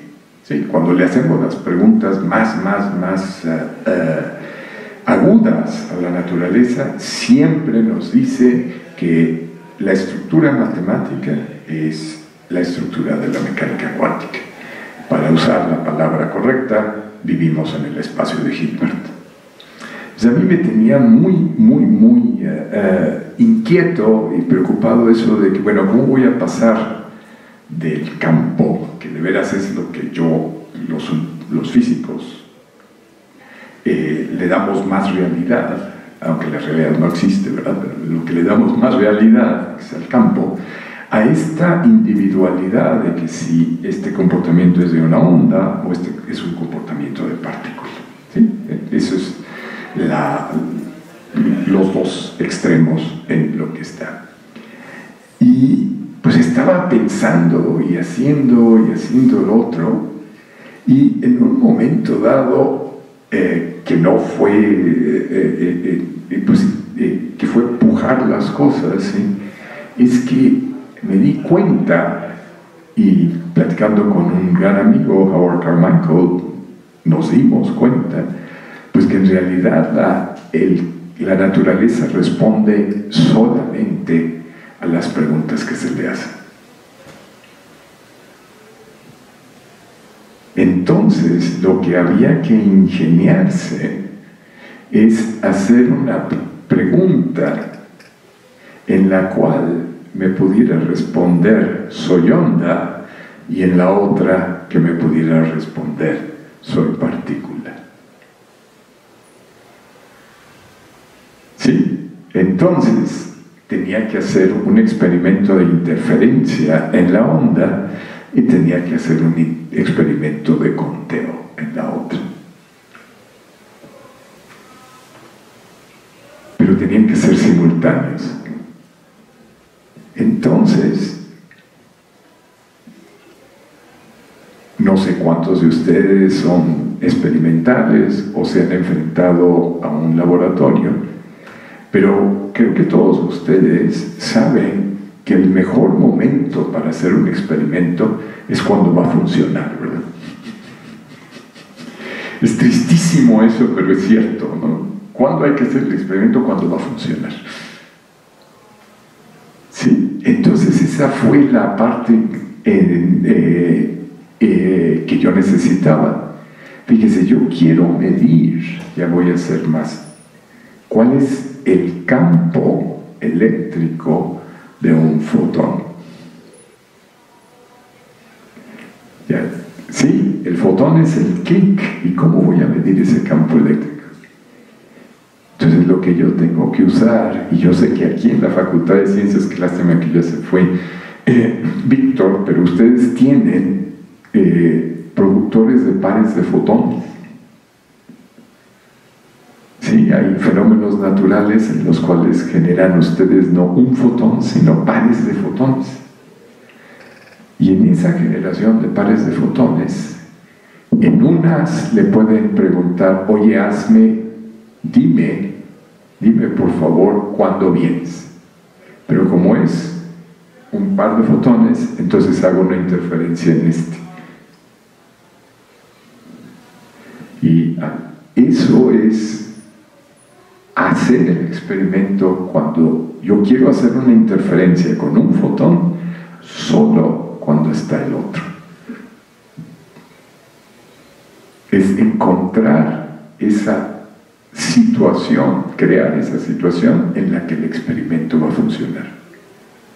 Y ese experimento funcionó, ese experimento funcionó en el sentido de que la naturaleza solo responde a las preguntas que le hacemos. Y lo difícil en muchas ocasiones es saber qué, qué, pregunta le estoy haciendo. Esa fue una lección de humildad muy, muy grande. ¿no? ¿Qué pregunta le estoy haciendo yo a la naturaleza con este aparato? ¿Qué pregunta le estoy haciendo yo a la naturaleza con este otro aparato? Sí, es el acto de entender no solo desde un punto de vista eh, así muy eh, abstracto, sino de veras de, entender exactamente cómo se están generando las señales eléctricas que al final de cuentas me van a decir que hubo una interferencia o que no la hubo. ¿Sí? En nuestro trabajo científico muchas veces no entendemos con los aparatos que tenemos, ¿qué pregunta le estamos haciendo a la naturaleza? Y esta eh, dualidad de onda-partícula, eh, si ustedes me preguntan ahorita, bueno, ¿y qué es onda-partícula? Pues que preguntaste, ¿no? Sí, es un campo, y al campo lo puedes tú estudiar como una onda o lo puedes estudiar como una partícula, y te va a dar información hasta cierto punto complementario. ¿Sí? Hasta cierto punto complementario. Pero esa, esa forma de, buscar y de hacer llevó mucho tiempo y puedo ser un poquitín más, eh, eh, contarles la anécdota. Tenía en ese entonces un alumno haciendo su tesis doctoral y le dije, no, mira, esta es una buena idea. Y este pobre estaba bien, bien, bien preocupado. Y decía, es que esto no puede funcionar. Y yo le decía, no, no, no, mira, este, sí, sí va a funcionar. Y nos poníamos a calcular ah, la señal a ruido del experimento. Y la señal a ruido era 1 sobre 200. Eso quiere decir que para que pudiera ver la señal, tenía que hacer cuando menos 40.000 pruebas del experimento. Un poquitín cruel, pero tenía, tenía perseverancia. Eh, Greg tenía perseverancia. Y recuerdo que una noche, por supuesto que a las 6 de la mañana, después de trabajar toda la noche, apareció la señal y dije, ¿viste? Sí, cierto, sí, cierto. Pero ¿por qué podíamos hacer eso? Porque entendíamos exactamente cuál era la pregunta que le estamos haciendo. Entonces, cuando les sé, ustedes, los que son físicos o los que son químicos, ¿qué es la materia? Es una onda, una partícula, es un campo. Y de ti depende si, la respuesta va a ser como onda o si la respuesta va a ser un partícula. Pero es, es el aparato, ¿no? ¿no? de ti, no es que yo tengo una potencia aquí en mi cabeza y le digo, ¡pum! Vuélvete partícula, no, no hay que ser humilde y reconocer que lo que yo estoy usando pues, va a ser de una forma o va a ser de otra. ¿sí? Entonces esta increíble dualidad en la que eh, eh, Einstein eh, empezó, pues está vista ya desde nuestro trabajo teórico y experimental, nuestra comprensión de la naturaleza, como las preguntas que le estamos haciendo al campo. Y con eso, pues, eh, si alguno de ustedes tiene algún comentario, primero que nada, muchísimas gracias por venir, ¿no? Yo, creo que eh, espero que no se hayan aburrido y al contrario, que como dice Pedro, ¿no? Que los, eh, pues que se vayan a visitar. la Ciudad de México tiene muchas cosas muy lindas que nos pueden, les pueden mejorar la calidad de vida, de veras, de veras es lo que puede ser tolerable esto, ¿no? este, este absurdo de, la vida cotidiana, ¿no? Eh, asomarse a un concierto y, este, pues no están muy lejos, aquí la salen de Zahualcoyot, ¿no? y tienen descuento, ¿no, Jaime? Que vayan, que vayan este, a una lectura de poesía, si vale la pena. Y cultiven la amistad con los poetas. De veras que caso son malísimas personas. no, no, no, no, no, de veras que sí vale la pena. Pues muchas gracias por eh, su atención y espero que continúen aquí en la Facultad de Ciencia y en la Filosofía y Letras teniendo estos diálogos, estas conversaciones, ¿no? que, que, pueden ser, eh, pues cuando menos divertidas. Muchas gracias. ¿Tienen, una, ¿Tienen alguna pregunta o ya cerramos esto? Sí. Este, mencionaste eh, el poder de asombro, que no lo perdiéramos, y luego mencionaste un poquito después la curiosidad. ¿Cómo, cómo, cómo mezclas eso? ¿Cómo lo relacionas? Mira, eh, yo, pero, pero no soy este, eh, pues una persona que se haya dedicado mucho a eso, yo creo que el asombro, ¿sí? no es necesariamente igual a la curiosidad. Cuando yo veo a una persona cambiando de canales o viendo 18.000 páginas en Facebook, eh, instantáneamente esa persona tiene curiosidad. Pero como no se para en un canal, como no se para en una eh, este, página de Facebook, no es capaz de asombrarse. Es el detenerte y decir, ah, ah, eh, aquí resuena. ¿Sí? Es el sorprenderte por ese encuentro aleatorio. Les despito, yo soy de los que creen que la vida es un camino aleatorio, pero sí tenemos capacidad de responder. ¿Sí? Entonces, creo que la curiosidad es anterior al asombro. Y el asombro, en, esta pequeña figura que te decía, ¿no? el asombro es, yo donde lo veo mucho más lindo es en los niños y las niñas, ¿no? que obviamente los papás y los alumnos, los maestros, ya cállate, hombre, que eso.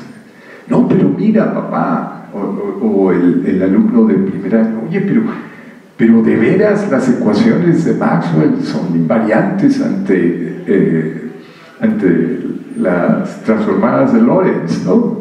Por supuesto, hombre, pues eso cualquiera lo sabe, ¿no? No. Es ese momento en que el alumno despierta y dice, wow.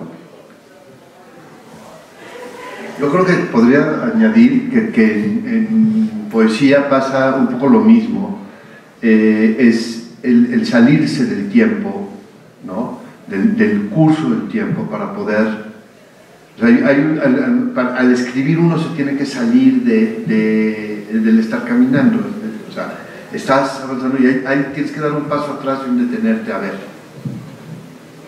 Y eso quizás, pues, curiosidad la vas teniendo todo el tiempo, pero si no te detienes y no te sales, y al mismo tiempo salir, quieres seguir ahí, pero es esta ir y venir entre el, estar en la vida y salirte de la vida. Sin salirte de todo. si no, no contribuyes, ¿no? hablas de este poeta mexicano Gorostiza. Gorostiza. La anécdota es que Gorostiza fue el director general de la Comisión Nacional de Legislación. ¿Qué tiene que ver con otro? ¿Quién sabe? Era, era diplomático. Además. No, yo creo que por eso. Era diplomático. Sí.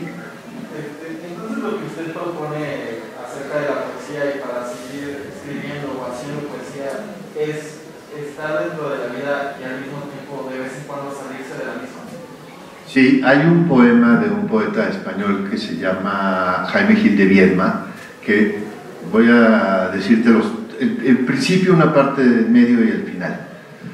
Y dice, el juego de hacer versos, que no es un juego, es algo parecido en principio al placer solitario Y luego viene esto que tiene que ver con la disciplina, aprender a pensar en renglones contados y no en los sentimientos con que nos exaltábamos. Este paso de los sentimientos de lo que nosotros sentimos a lo que siente el lenguaje. ¿no? Ese es el detenerse. Y termina el poema diciendo el juego de hacer versos, que no es un juego, es algo que acaba pareciéndose al vicio solitario. ¿Cómo se llama el poeta? Jaime Gil de Viedma. Gil de Viedma.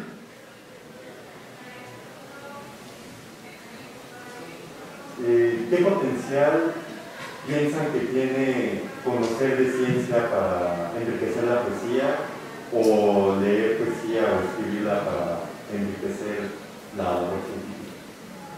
Yo creo que, que todo. Ahí está el trabajo de la curiosidad y la puesta del asombro. Eh, para mí, o sea, por eso el poema, este poema no lo hubiera podido pensar si no hubiera leído cosas sobre física.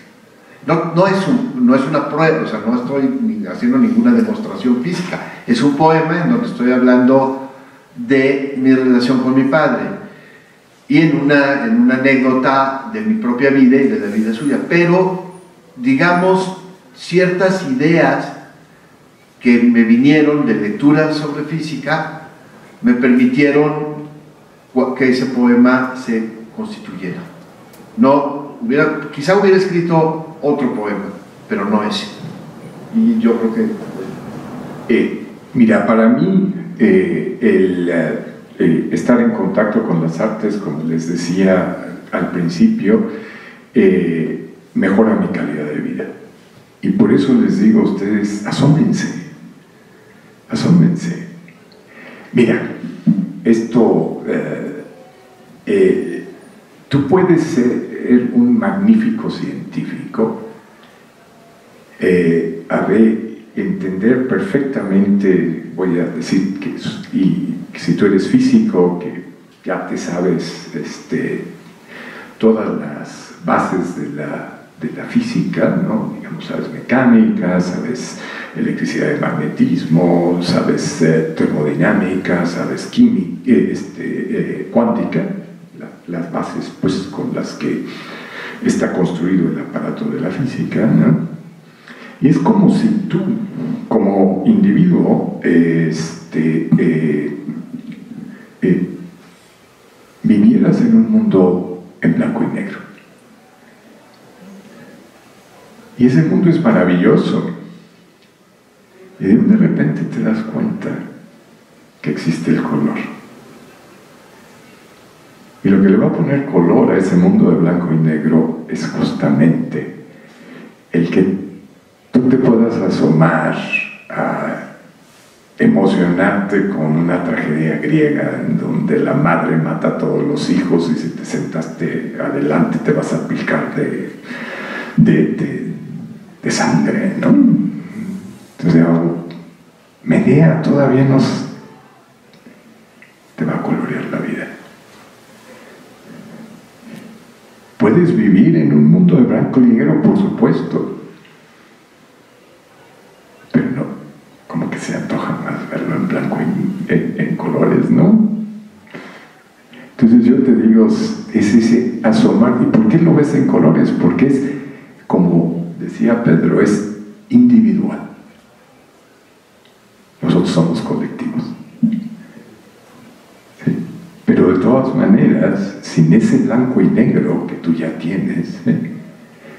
los colores se, se, se, se, parecerían, se difumarían.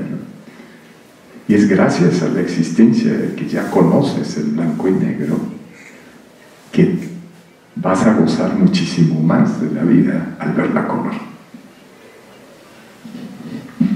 Confieso que esa es una idea que me pasó uno de mis exalumnos. Eso me llevó a una cosa que yo tengo un libro que se llama Defensas, son escritos sobre poesía, y en uno de, de, los textos hablo, para hablar de, esto, de eh, cuento una anécdota que, que, que narra el eh, neurocirujano y escritor Oliver Sacks, de una mujer que solo puede ver, no puede ver profundidad, eh, solo ve, plano, tiene una enfermedad en los ojos que no le permite ver la profundidad. Y funciona perfectamente, jugaba tenis incluso, era capaz de acomodar su mente para, eh, para jugar tenis. Y la operaron y no se daba, dice, bueno, no se da cuenta, hasta que de repente cuenta, le cuenta ella, y luego eso lo cuenta Sachs, que sale y en un, va, está en la universidad en donde trabajaba y cruza de un edificio a otro y está nevando. Y se para y en ese momento descubre que la nieve cae en muchísimas perspectivas y profundidades. Y eso es un asombro. Y se pone a llorar. ¿Sí? Eh, y esto me lleva, ya para, para cerrar este punto, eso es lo, ¿por qué necesitamos los poemas? Yo creo que los poemas son la manifestación del lado emocional de los seres humanos.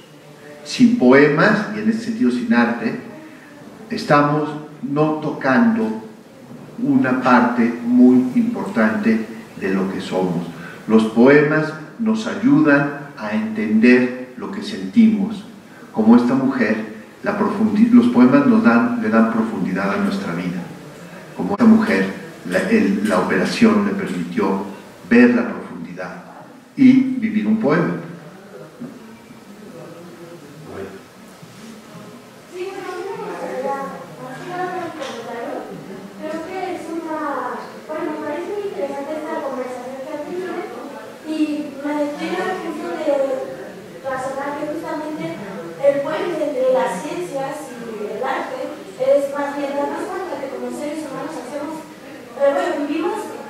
Haciendo cosas para un fin, cuando en realidad podríamos mejorarlo haciendo las cosas, las cosas en sí mismas, ¿no? Y el arte nos permite como humanos justamente identificar eso que sentimos, eso que pensamos, y que como humanos somos parte de la naturaleza, de una totalidad que eh, al asombrarnos justamente vemos esa, ese pequeño punto en esa realidad inmensa, ¿no? Entonces, el rodearnos de arte nos permite ser sensibles a eso y creo que es un, bueno, al menos es algo que veo ese punto de si tú convives con el arte, puedes asombrarte de eso que está pasando ahí, ¿no? Ver en sí mismo y afrontarte justamente ese abismo y cuando estudias el arte y estudias más de la naturaleza, puedes eh, verla en sí, ¿no?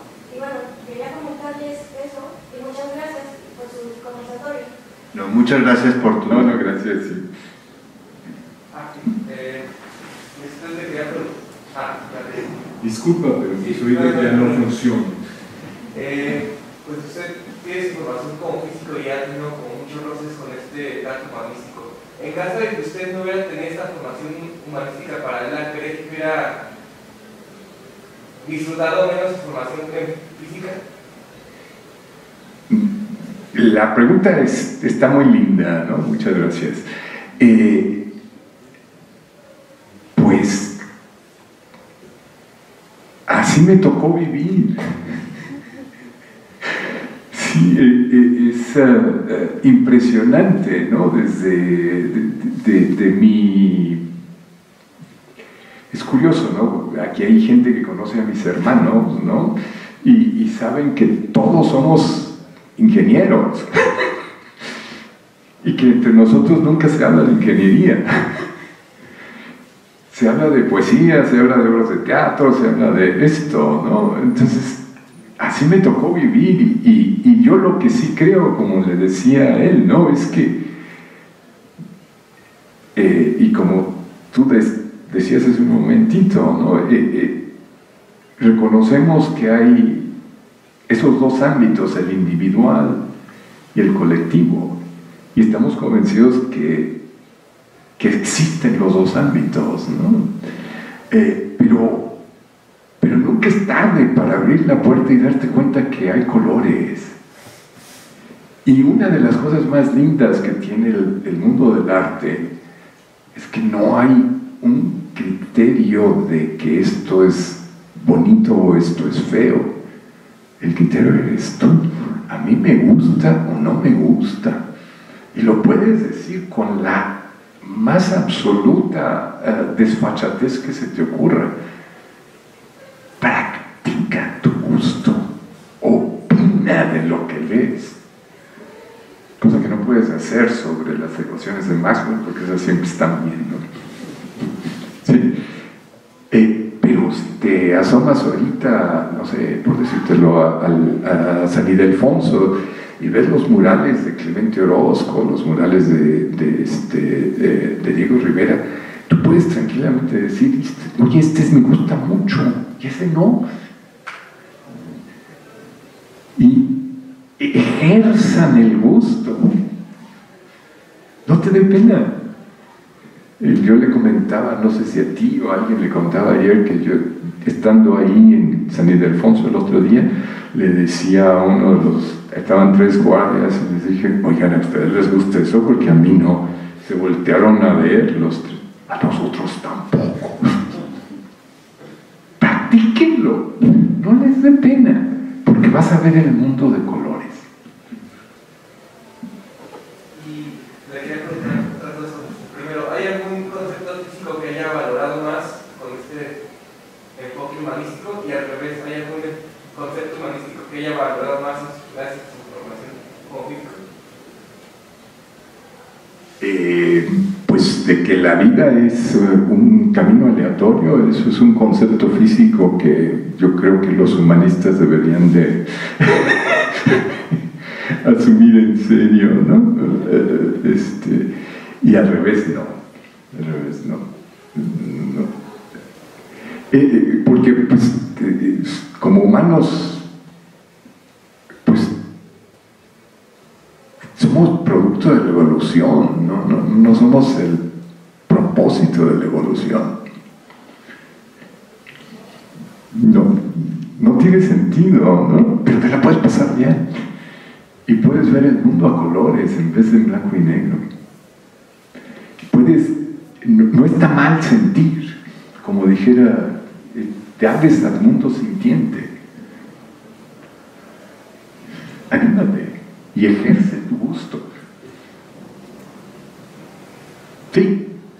Yo quería preguntarte cómo sabíamos que teníamos, cómo sabemos que tenemos un buen poema, porque por una parte tenemos esto de las leyes de, o las reglas del lenguaje, de la palabra en verso, y por otra tenemos lo de la sociedad de los poetas muertos de no hay reglas, solamente escribe lo que quieras, o lo de framework, la de no hay poema que no, que, que no se escribe.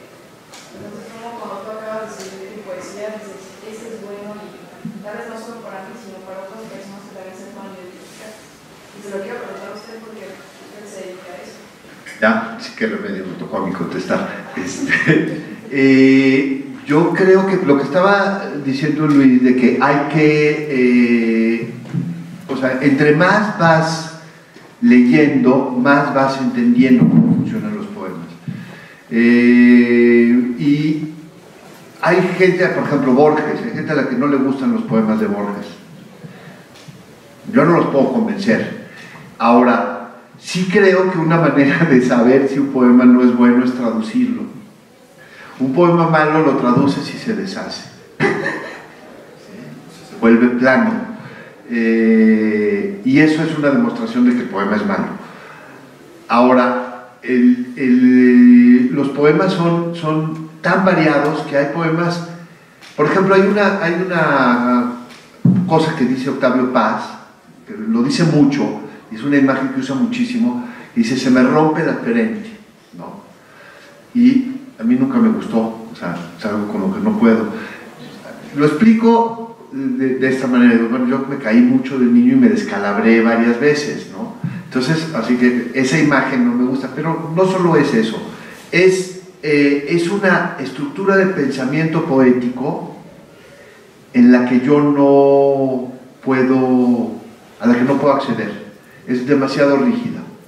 A mí me gusta más una poesía de porosidades. Pero hay gente a la que le gusta más ese tipo de poesía. O a la que le gusta más, por ejemplo, el arte de Mondrian. A mí me gusta mucho eh, el arte abstracto. Pero hay gente a la que no le gusta el arte abstracto. Que prefiere formas más redondas, más orgánicas. Eh, no, no, es mejor el poema orgánico que el poema, eh, digamos, eh, de, de, formas geométricas. Eh, pero con unos coincidimos más que con otros. Yo creo que, que ahora hay cosas abstractas que son malísimas y cosas figura, figurativas que son espantosas. Y yo creo que eso sí podemos apreciarlo. Lo malo es fácil verlo. Si nos entrenamos, si vamos, si estamos viendo. Pero ejerce el gusto. Eso es bien importante, ¿no? Sí. O sea, cuando veas una cosa dices, no me gusta y punto. O pregúntate también, no me gusta, no ¿por me qué gusta? no me gusta? Porque a veces luego de que no te guste, te puede empezar a gustar. Pero, por ejemplo, me acuerdo que en Introducción al Mundo Feliz nos, nos explica que, la, bueno, el autor explica que él lo leía y lo leía y esa postura lo leía para corregirlas. Por eso en particular nunca la leyó, porque si él hacía eso, no encontraba que no les iba a cambiar la esencia de la obra. Entonces yo creo que también pasa eso con la poesía. Si uno después de un rato vuelve a leer sus poemas, ya no checa algo, lo cambias y, y queda completamente distinto. Entonces no sé cómo saber si tu sentir es incorrecto o correcto. Mira, yo, va a salir un material de lectura de, de, con mis poemas. Este, no lo hice yo. La, no, la, no, decidí yo qué poemas salían. Lo hizo una poeta joven muy, muy buena que les recomiendo mucho, que se llama Paula Abramo. Eh, y ella escogió poemas, me sorprendió mucho los que escogió. Escogió poemas que yo no hubiera escogido y unos poemas que a mí me gustan mucho, pero que quizás los siento muy personales. Y muchos poemas de mi primera época, de hace 30 años, cuando empezaba a escribir. Eh, y me sorprendieron. Y, pero lo que yo no hago es corregir lo que ya escribí. O sea, eso pertenece a... Si, si ya no sirve, lo quito. Pero lo que me gustó es que los poemas seguían funcionando. Quizá yo les hubiera cambiado ahora algo. ¿no? Solo hay un cambio en un poema y ese cambio lo hizo ella, porque ella transcribió los poemas. Le puso un acento a un más. Y yo usaba un más como pero y ella le puso el acento y eso lo dejé porque así es la vida. ¿Sí te contesté lo que me preguntabas? Sí. Hablando de la inteligencia artificial, si bien tiene la capacidad de resolver problemas, ¿creen ustedes que las inteligencias artificiales en algún momento tengan capacidad de, uno, asombrarse, dos, hacer preguntas, preguntas creativas, tres, quizá tener un sentido del gusto? Que piensa tú. Pienso yo, porque va a decir lo contrario. Este, yo creo que no, porque no tienen cuerpo. Es decir, no tienen estómago, no tienen sistema respiratorio, no les duelen los pies.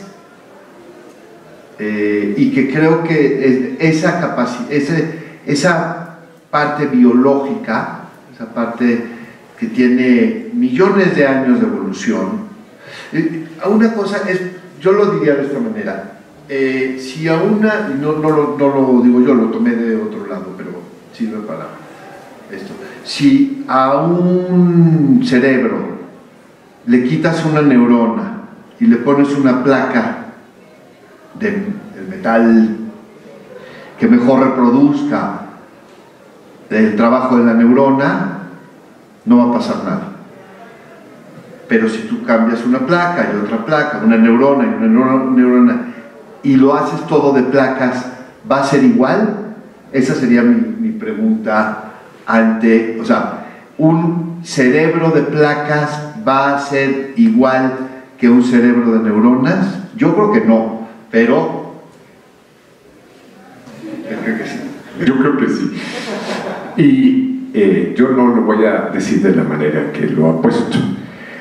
Cuando tú compras tu celular o tu computadora hoy en día, ¿sí? el chip que es el cerebro de, la, eh, de tu celular o de tu computadora, es un chip al que constantemente se le están destruyendo transistores por los rayos cósmicos. Y que el chip solo encuentra otra manera de pasar la información de A a B.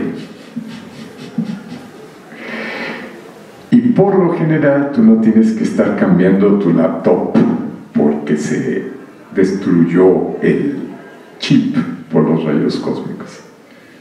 Entonces, de ahí es de donde yo decía hace rato, ¿no? Pues a lo mejor la vida con silicio no está tan lejos. Sí, o sea, eso que dice, mira, yo estoy, voy a decirlo de otra, una de las cosas que sí estoy convencido, ¿sí? Es que tanto en el cerebro humano como en el chip, la información es física. ¿Sí? Entonces lo que Pedro dice es que no tiene cuerpo, yo lo crezco y digo es que tiene que tener una parte física. Y con eso somos un experimento de la, de la vida, ¿no? Y parece ser que vamos destinados a desaparecer, pero pasémonosla bien, ¿no?